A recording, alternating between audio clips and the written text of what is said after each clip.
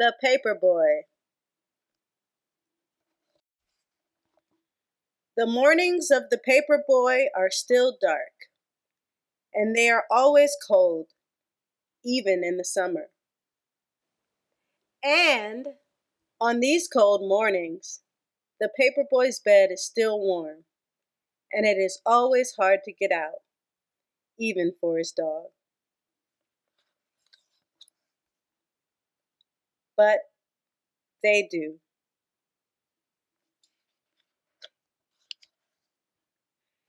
And softly they step down the quiet hall, past the door where the paper boy's father and mother are sleeping, past the door where his sister is asleep, and down to the kitchen where they eat from their bowls. And out to the garage, where they quickly fold their papers, snapping on green rubber bands and placing them in a large red bag. It's hard to ride a bike when you are loaded down with newspapers, but the paper boy has learned how to do this, and he is good at it. The paper boy knows his route by heart, so he doesn't ever think about which house to pedal to. Instead, he is thinking about other things, big things, and small things, and sometimes he is thinking about nothing at all. His dog, too, knows this route by heart. He knows which trees are for sniffing he knows which bird baths are for drinking, which squirrels are for chasing, and which cats are for growling at.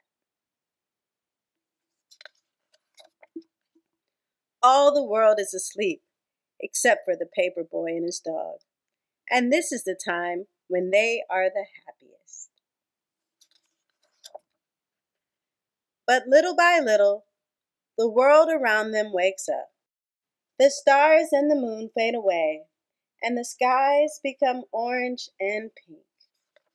And when the paper boy has delivered his last newspaper, he and his dog race home, and his empty red bag flaps behind him in the cold morning air.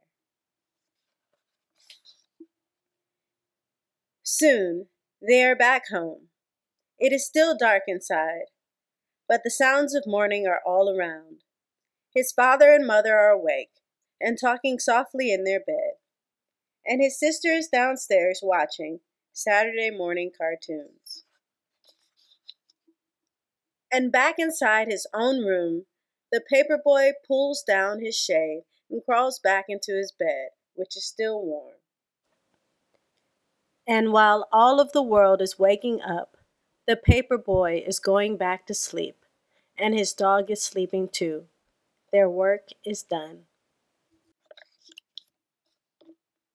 And now is the time for dreaming.